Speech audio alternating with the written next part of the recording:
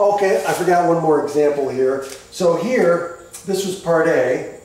So part B is what?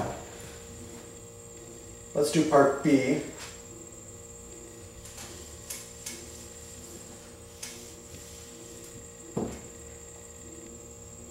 So part B is 0.609. Is that right? 309.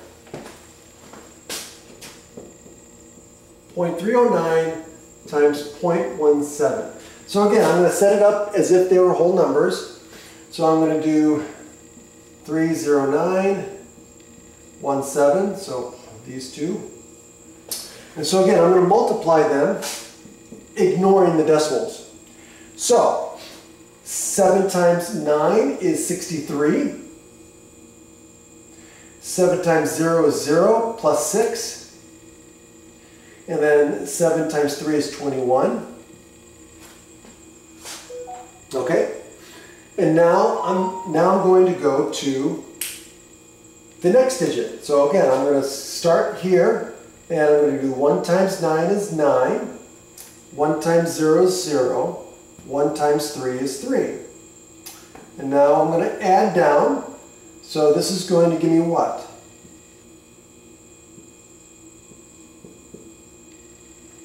Fifty-two, fifty-three.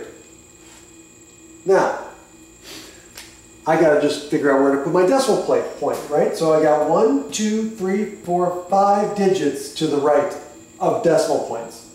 So that means I'm going to count five digits. One, two, three, four, five. So what do I do here? Well, I went one more, so guess what? I'm to put a zero there. And now I'm going to put my point.